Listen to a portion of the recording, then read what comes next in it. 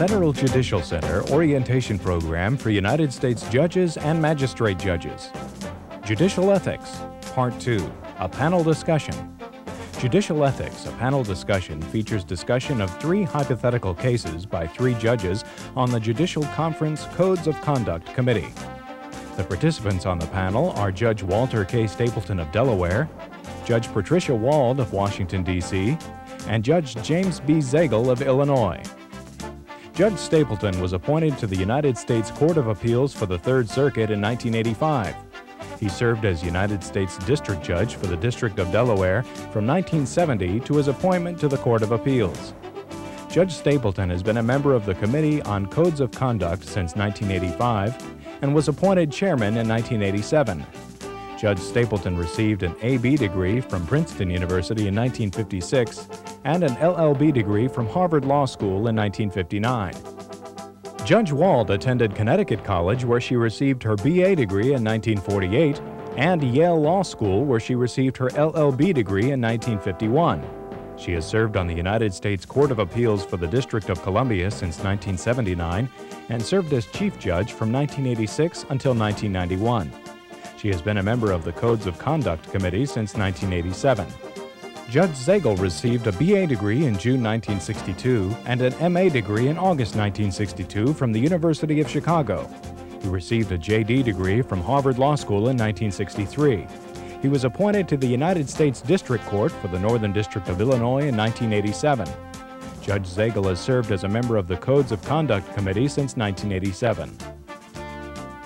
Case number one membership in legal and non legal associations, and similar activities.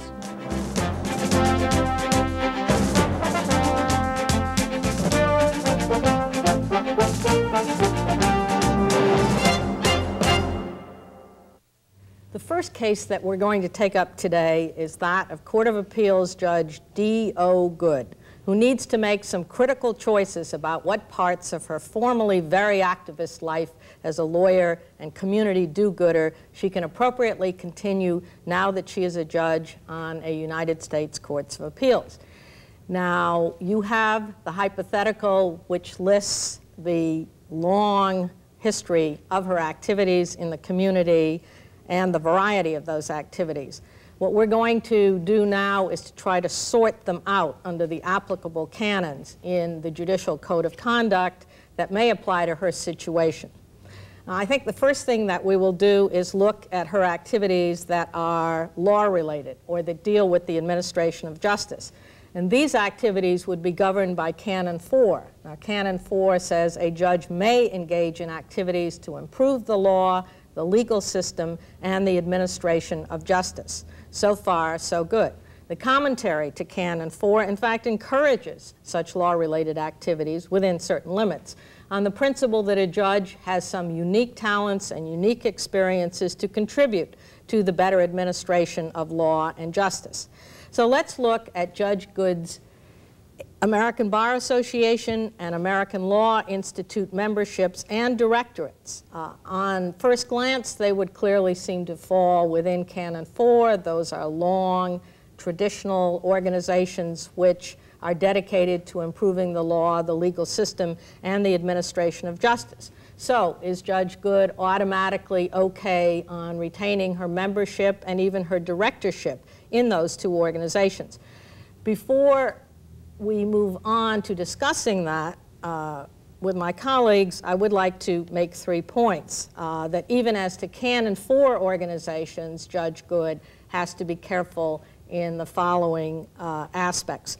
One is that she should never do so much on the outside that her outside activities, be they law related or not, uh, interfere with her judicial functions. That's a given. Secondly, the canon tells us, and several canons tell us, that she should not be identified with positions or policies that may impair her ability or the perception of her ability to decide cases which may involve those issues. And anytime one belongs to an organization, uh, there is always the danger that one can take on the coloration of that organization's position. So she has to be careful there. And finally, there is a general caveat about judges not in any way soliciting or permitting their judicial office to be used by others to solicit funds for any organization, no matter how worthy, no matter how law related, and that also has been interpreted to mean no solicitation personally for membership in those organizations. Now let's stop there uh, a minute on Canon 4 uh, and look at two things. One, Canon 4 talks about organizations that improve the law, the legal system, and the administration of justice. Read broadly, that could encompass a lot of organizations other than ones like the American Bar Association or the American Law Institute. Uh, almost any policy reform we can think of could eventually end up as a law. Walt, where do you think Canon 4 draws the line about what kind of organizations are judges encouraged to belong to? When the canon talks about organizations devoted to the improvement of the law, the legal system, or, uh, and the administration of justice, I think the last two, the legal system or the administration of justice, the meaning there is clear. They're talking about uh, organizations pertaining to how courts are run and how our system delivers uh, legal services. Where you get into a debate is what it means when it talks about organizations for improvement of the law and what that means. And I, our committee has interpreted that in the context of the purpose of Canon 4, which really is to single out for special treatment from the universe of all the activities uh, on the outside a judge might engage in, those activities where the judge is, by virtue of his office, having been a judge and his legal training, able to contribute something unique to the objective of the organization. And as a result, we've construed it to mean uh, fairly narrowly. That is, uh, it's talking about organizations like the ALI, uh, which is devoted to uh, the structure, clarification, overall improvement of the law through restatements or uniform codifications and that sort of thing, and not uh, organizations that promote a particular policy change, um, even though it may involve uh, a change of the law, amendment of the law, or the addition of a new statute. If you interpret it that broadly, uh, I think you would do away, you'd encompass the whole, the whole universe. So I think one has to ask, is this the kind of organization where the judge, by virtue of having been a judge, is able to contribute something unique. And where it's, um, if it's an organization for a statute to ban nuclear weapons, uh, I think the judge, um, even though it's promoting a statute, uh, the judge has no unique contribution there. Jim, what about her position on the governor's task force on drugs? We all know, and especially we federal judges know, that uh, the war against drugs has had a profound impact on our dockets, our courts, our district courts, and some of our appellate courts. Uh, have a severe case burden due to all of the processing of the numerous arrests. Now, the governor's task force is looking for perhaps a better way to handle the drug problem, which would undoubtedly, if its recommendations were adopted, end up in some legislation, but also end up perhaps in having impact on both state and federal courts. Now, does that qualify for a Canon 4 organization, or does it fall within Canon 5, which deals with non-law related activities and specifically uh, bars membership on a governmental commission, that is Canon 5, that deals with fact and policy in non-law related activities? My view is that the uh, task force, the governor's task force on drugs is out, that the judge cannot continue to participate in this. Uh, part of this is based on the circumstances involving the debate over drugs, because there is a debate over what we ought to do about drugs. Uh, the debate does focus on questions of, uh, of fact, uh, questions of statistics, questions of policy, uh, and typically task forces on drugs and other major issues, the environment, uh, uh, end up recommending legislation. Uh, when they recommend legislation, unless the legislation is non, very non-controversial, which it's not likely to be in this case, I think you have a situation in which, although law is involved, uh, it's involved in the same sense that uh, Walt uh, uh, said it was involved in a, a, a law to ban nuclear testing. There is law at the bottom of it, but it is not the kind of law-related activity envisioned by Canon 4. Uh, it is, in fact, the kind of activity in Canon 5. Uh, and uh, uh if the uh, task force becomes very controversial, and it may very well, considering its subject matter, it trips over also into Canon 7, which contains relatively absolute bars against any kind of political activity. Although I might add, Canon 7 has an exception for activities that fall within Canon 4. So I suppose the lesson there is that uh, these canons are uh, quite often cross-referenced, and there are judgment calls as to which is the predominant canon uh, that applies here. All right, we're rapidly simplifying Judge Good's uh, very busy calendar. Now let's turn to the private local law reform activity that she had so usefully been involved in. The Council on Court Reform, which had a very extensive plan for reforming the state courts, and she had been a very articulate spokeswoman for that plan. It's just now reaching the point where the state legislature is considering it, and she would have been a primary witness uh, in the move to put that ahead. Perhaps she might also have appeared on TV uh, and in a variety of local forums pushing the recommendations. Uh, now, can she continue that? Does she have to get off of that and leave the Council on Court Reform in the lurch, as it were? Well, I, I, I think that, that this is the kind of organization that Canon 4 authorizes a judge to be uh, involved in. Uh, our committee has given uh, advice that uh, it's appropriate for a judge to be a member uh, and active in an organization favoring merit selection, uh, merit selection of judges, for example. Uh, so I think it's, it's the kind of activity that's authorized, but it's terribly important how she goes uh, about it and how the uh, story develops, so to speak. If uh, she gets into a situation where it is, what she's doing is going to be viewed by the public as politically partisan activity, uh, I think she's got to back off. Uh, but going to the legislature and uh, speaking uh, uh, to legislators about court reform, uh, I think is entirely appropriate. I think there are two, you have to realize there are two levels here. One, two questions. One is, can you participate? And then two, whether if you do participate, you're not going to, subsequently, you may find yourself in a position where you have to recuse as a result of having participated. But it doesn't make it wrong to participate just because there may be an occasional uh, situation where you are going to have to recuse later. Our committee has been uh, of two minds on the degree to which uh, judges ought to participate uh, in these, uh, these kinds of things. In 1970, uh, uh, we issued an opinion which said that a judge ought not to engage in any kind of activity in which the judge gave some positive commitment on a, on a question of law.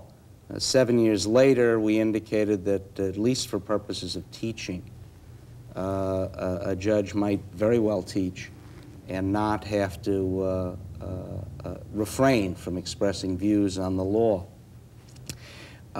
my opinion on the matter is, is that it's a delicate problem because even something on its face as non-controversial as the American Law Institute, which is a heavy component of memberships of federal judges, uh, is an organization that issues the restatements, deals occasionally with controversial matters of law, and the restatements themselves, once they're issued, tend to be very influential.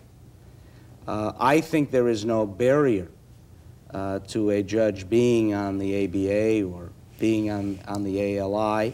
I think that to the extent Canon 4 encourages law-related activities, and that's what Canon 4 does, the drafters of the canon made a decision that it is better to permit uh, uh, this activity uh, at the risk of having judges express views on the merits of certain issues. But Jim, take uh, the American Bar Association, uh, for instance, in recent years, it's in varying uh, meetings taking, taken uh, a pro-abortion uh, and an anti-abortion, uh, that's, a, that's a generalized statement, position. Now, if a federal judge is a member and a participating member um, of the ABA, does he or she have any responsibility to distance themselves either affirmatively or negatively uh, when a Canon 4 organization occasionally finds itself in the midst of a very hot political controversial topic, which may end up in a case uh, in a federal court? I think that the judge does. I think the judge does even with respect to certain non controversial areas of the law. I, I, what I've uh, often thought of is uh, Canon 4, uh, uh by its uh, encouragement of law-related activities, uh, tells the judge that you can participate. but I think other provisions of the canon, Canon 1, dealing with the judge's conduct, counsel also that the level of participation uh, is must be restrained in some respect. Uh, and I think that uh, one of the things the judge does lose uh, is the right to be in the forefront on a large number of issues. And on issues that are particularly controversial, that are likely to arise, I think the judge really has a, a duty not to withdraw from the organization, but to abstain from voting uh, on these particular matters. Last question. Doesn't it, uh, doesn't it, depends a lot on whether you're talking about an occasional uh, situation where the, the organization takes a controversial stand, as opposed to a, an organization where they are continually taking positions on the same side. A one-issue organization. Yes, uh, or the, the ACLU is not a one-issue organization, right. but in the public's mind, it's devoted, It right. is associated with a particular point of view.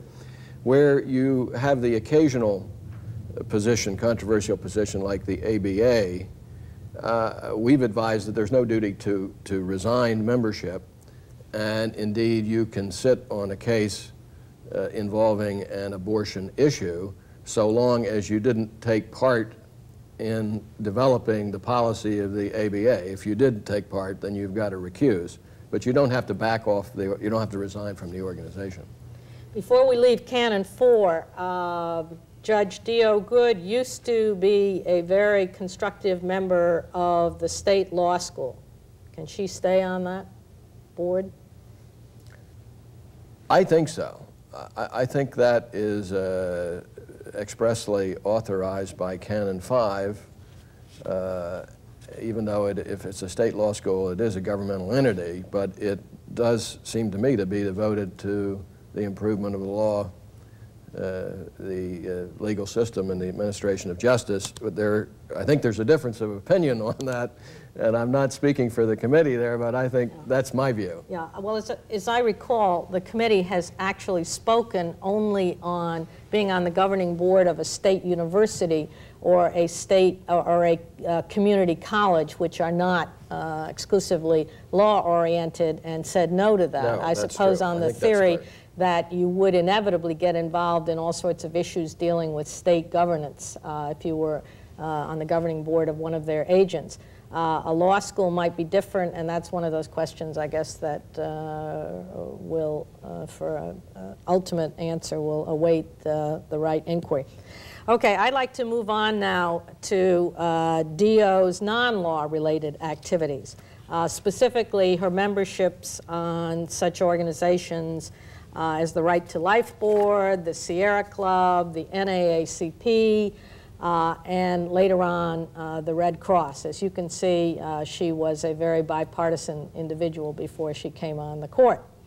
Uh, now, those are all Canon 5 activities, and Canon 5 reads that a judge should regulate extrajudicial activities to minimize the risk of conflict with judicial duties, but recognizes both in the canon and in the commentary that judges are human beings and there is some part of their life that they may wish uh, to devote to things other than the law just to keep their sanity, if for no other reason. However, the Canon 5 is, I would say, more neutral as to uh, such activities than Canon 4, which has a note of positive encouragement in them. The guiding lights, as I see it, on Canon 5 activities are, again, the perception or the reality of the judge's ability to remain impartial in cases that come before her, and, of course, uh, her ability to put her judicial duties in front of everything else. There is one additional um, component which comes up in several of these organizations. You mentioned the ACLU, it would be true of the NAACP, and it would be true of the Sierra Club too. And that is, are these organizations which themselves have a sizable litigating agenda? Uh, I know in the court I serve on, the Sierra Club and most of the environmental organizations are before us all the time, and the ACLU is certainly there a good bit of the time. Uh, I believe, and tell me if if any of you think uh, that there is something else to be said on it, that for such organizations, uh, the judge should not um, join or participate in the governance of on the ground that they will be a litigator with sufficient frequency uh, that it will be a real um, dislocation, as it were, if she is going to um, recuse in all those cases. Uh, there's another point to be made here too, and I'd like your reactions to that. Uh, we touched on it even on the Canon 4 activities, and that is some of these uh, organizations have a decided point of view. Certainly we know the NAACP is only going to be on one side of discrimination cases. Sierra Club is only going to be on one side of environmental cases. The ACLU presumably uh, will be only on one side of cases that they think involve significant issues of free speech. Uh, that does raise a real problem of the perception uh, of the judge if uh, she is a member, or especially if she's a very active governing member of these organizations, as to how impartial she can be when they bring uh, uh, their cases to court, and if she recuses herself, how frequently she would have to recuse it. I think my reaction is uh, that she can't belong to those organizations, but let me hear, Jim, your view. I think that uh, she can't belong to the organizations. Uh, I think all of those that have a substantial uh, litigation component uh, uh, are uh, simply organizations to which no judge can belong. the Red Cross, which she's a member, is something that doesn't litigate, and she can continue her membership there. But even then, she has certain restraints uh, in terms of her ability to, uh, to be part of the governing board. She cannot give, for example, legal advice. Uh, uh she can simply serve as any other member who was not a judge uh, could serve. I think the only difficult uh, position, the, the, difficult question, is that which revolves around organizations that may have controversial positions but they do not litigate. Uh, and on this, it's a close question. You've given the example of, uh, of uh, a right to life committee that uh, doesn't litigate, uh, but perhaps seeks seeks to influence the course of law and litigation and maybe the passage of statutes. I think under those circumstances, the judge ought to shy away from that sort of organization as well. There are two published opinions that deal fairly extensively with some of the questions we've taken up. Those are opinions 28 and 40 that deal with our thinking on Canon 5 activities. Walt, do you have anything to add to? No, I, I agree 100%. The Red Cross is all right. The others I would advise against because I think even if they didn't litigate, that the public, a substantial segment of the public would think that they might cause them to question the judge's impartiality in some cases. All right. Uh, as a wife and a mother and a neighbor, D.O. Good has always been a role model for the women attorneys in her jurisdiction, and she wants to retain that kind of uh, double aspect to her life. She wants to stay active in her church affairs. She wants to stay active on the board of her small daughter's uh, co-op nursery school. Um, and she is also a good neighbor and she wants to make sure that her neighborhood is the right kind of place uh, for her children uh, to grow up on.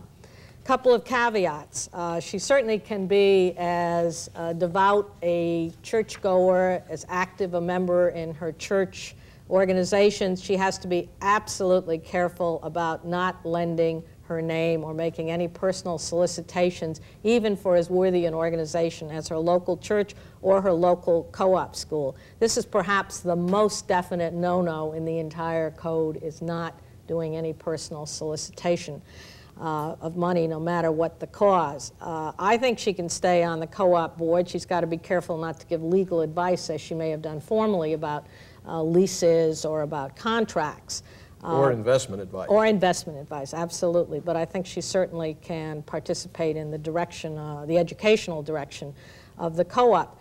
Let's take up uh, her activities to try to prevent the demolition of the midwife's historical preservation um, dwelling, uh, which is in the middle of the nice in-town area that uh, D.O. Good lives in, and which would be replaced by a filling station.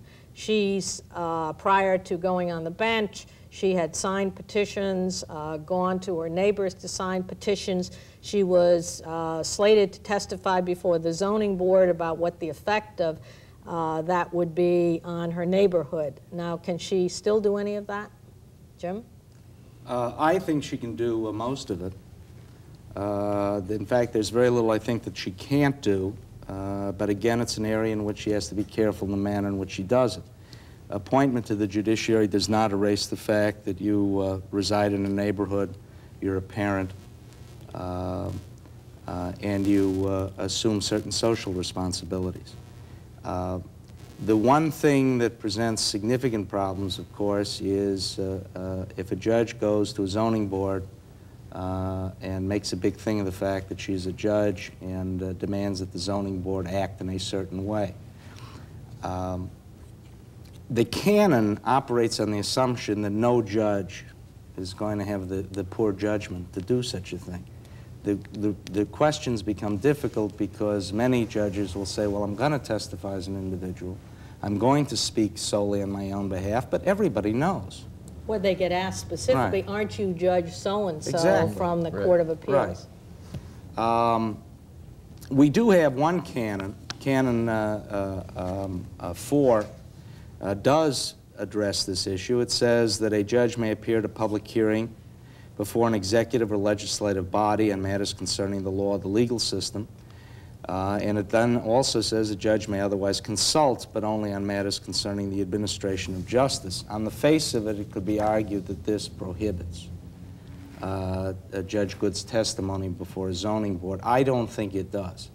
I think this applies, Canon 4B does, only to those situations in which the judge is acting as a judge, uh, testifying on the basis of the judge's interest as a judge in the law.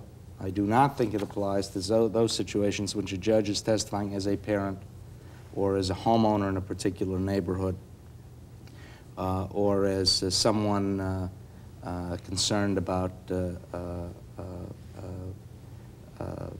some other private social issue.